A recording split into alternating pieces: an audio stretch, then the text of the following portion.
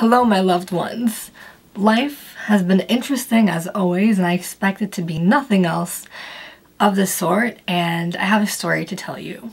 So, the other day, I conducted one of the best interviews I've done in, in a while, and in hopes of creating some fantastic content for the new website, souldoctors.com, I found a great MMA fighter that had an incredible story and I got to interview him and it was really awesome. And, you know, I got to learn a lot about him. And what I made sure to do was I wanted the questions that I asked him to be a lot more genuine and interesting. I wanted them to kind of like go deep. So he's someone who's been exposed to media and various journalists in the past, and that's not something that's new to him. And so when I was interviewing him, he had no problem pretty much, you know, keeping his eye on the camera. That is something even I still struggle with, but I'm trying.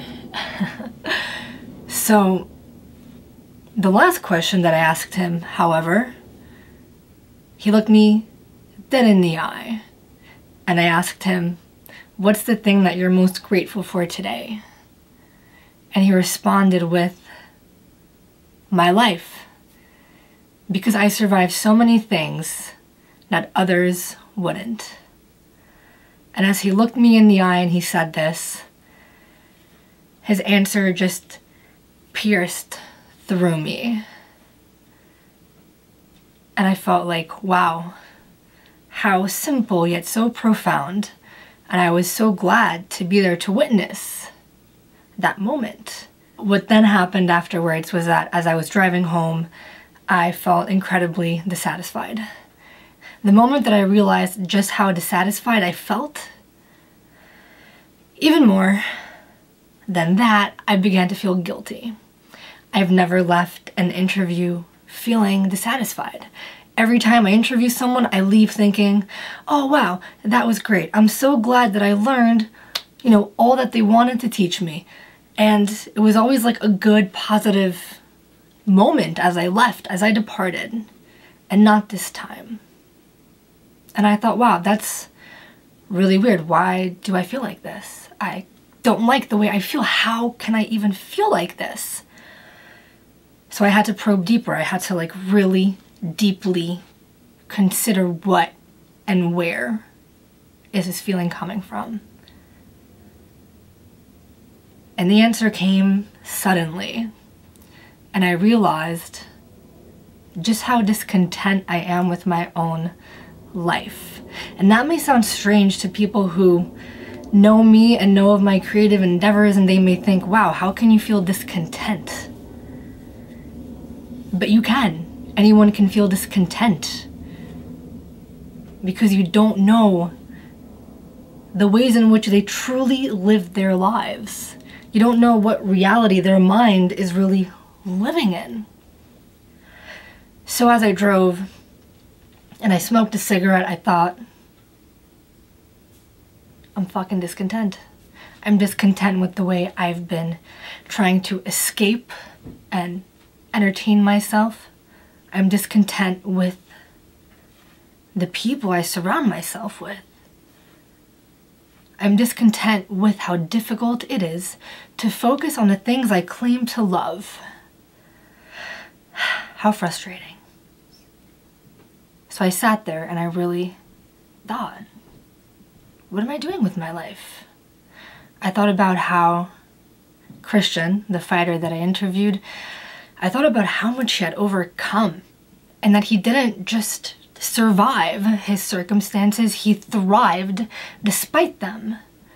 And when I really I looked at him and I thought about the person he became, I felt so fucking ashamed of myself.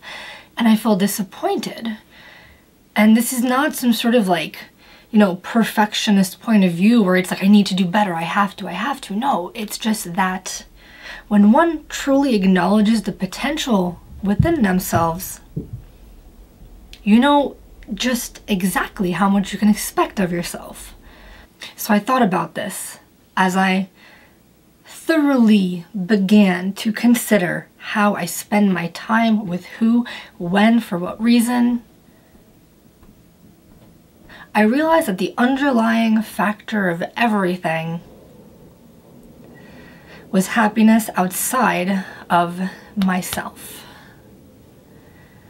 And I know that this is something a lot of people can relate to, and it takes a lot of time at times, and it takes a tremendous amount of courage to genuinely admit to being guilty of this, of seeking happiness outside of yourself. It's tough. You know, I mean, it would be so fucking easy if we could escape through another person, through fucking shopping, by changing our fucking location. If only. And yet, all of that takes effort, right? And how funny and what a coincidence, what a fucking paradox that the answer that you need to everything, the answer you need to fill the void that you feel is right here. It's right here, it's right there. what you need is yourself. It's simple.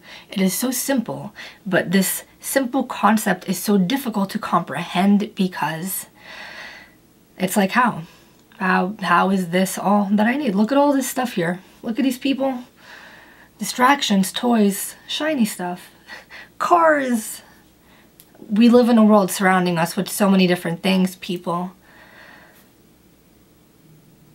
And we know we're important. We know that we sit in this vehicle, and through this vehicle is how we perceive life. But oftentimes, because of the traumas that we've endured, we seek elsewhere. We seek everywhere but within.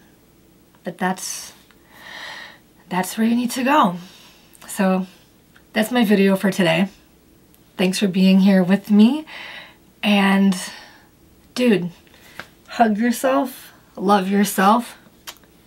There's a kiss from me, but fucking kiss yourself. Like, do what you need to do to be happy with yourself, by yourself, and through yourself. I love you guys. Thanks for watching. Stay fucking fabulous. Love your fabulous self. And I'll see you next week, alright? Bye.